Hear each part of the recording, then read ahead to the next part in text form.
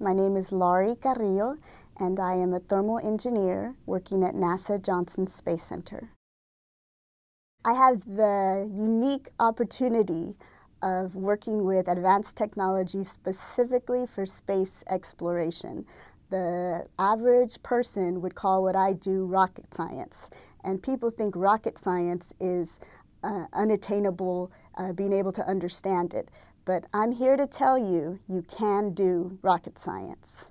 Specifically, I look at how heat transfers within the rockets, making sure that the different spots on the spacecraft don't overheat and that all temperatures are kept within limits so that the materials can function as they are meant to.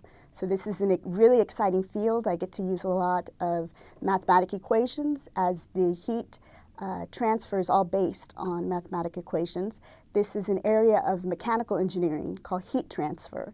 And there are three types of heat transfer. There's conduction, convection, and radiation.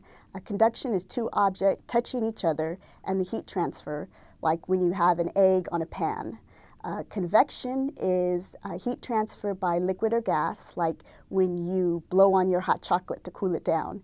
And radiation is electromagnetic waves transferring heat, such as your sunburn from the sun. So all of these come into play as a spacecraft orbits a planet or the Earth. So we look at these equations to make sure that everything stays A-OK.